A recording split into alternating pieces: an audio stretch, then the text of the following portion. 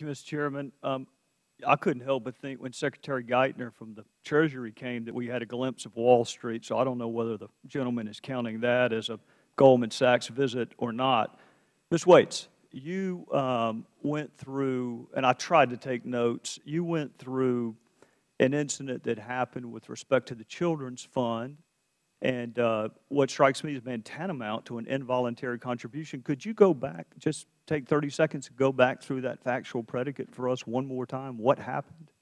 Well, in 2004, when I went to the delegate assembly, we were told right off that it was non-negotiable. We had to make a donation to the Children's Fund in two separate payments that amounted $180, which I finally did, and I procrastinated because I had I couldn't figure out why it had to be two different payments, and I couldn't figure out why it wasn't tax deductible. But the name is the Children's Fund. It's um, the Fund for Children in Public Education, so you assume it's for children in public education.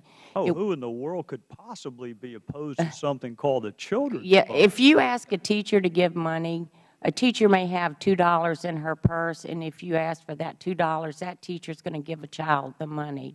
That's just what we do. Are you familiar with the work of the Children's Fund? I was not until the last day of the assembly when they announced that it, the money that had been raised through the Children's Fund would go to the campaign. In 2004, it was John Kerry. In 2008, it was Obama.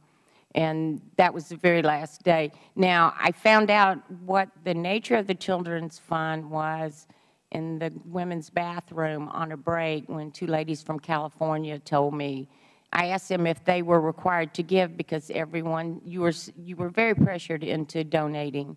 And they said, no, it was a political fund, and that's how I originally found out about it, was from some other lady. We, we may have a clip, Mr. Chairman, um, of an ad run by the Children's Fund. Let's see if we have one here.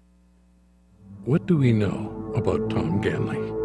We know used car salesman Tom Ganley was sanctioned for deceptive advertising. Now he says he wants to bring jobs back from overseas. The same Tom Ganley who signed a pledge to protect tax breaks for companies who ship jobs overseas.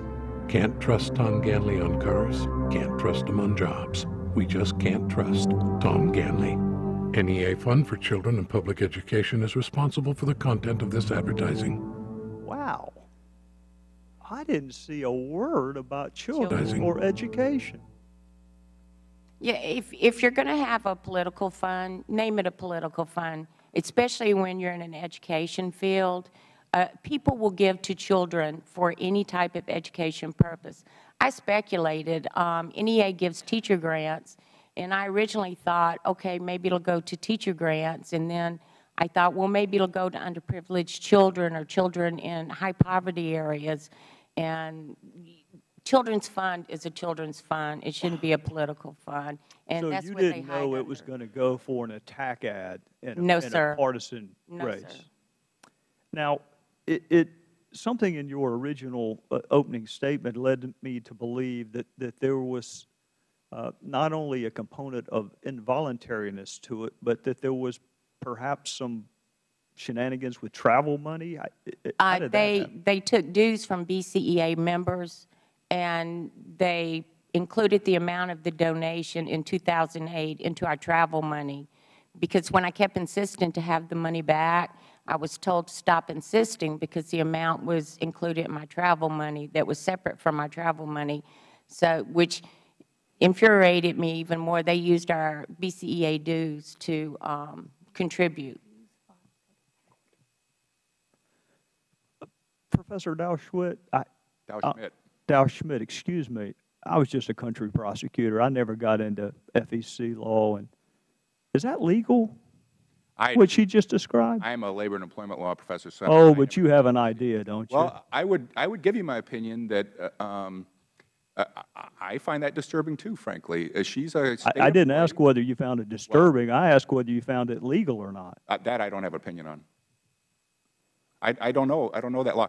As I understand, she did file a complaint that was, that was denied. She is a state employee, so she's governed by state law, so I can't tell you what the state law is on her, on her objecting. But uh, uh, I, I think she's got a legitimate complaint there that, that if they, uh, if they uh, put forward that fund in that way, that she should expect it to go for, uh, uh, it it should be clear whether it's for politics or not.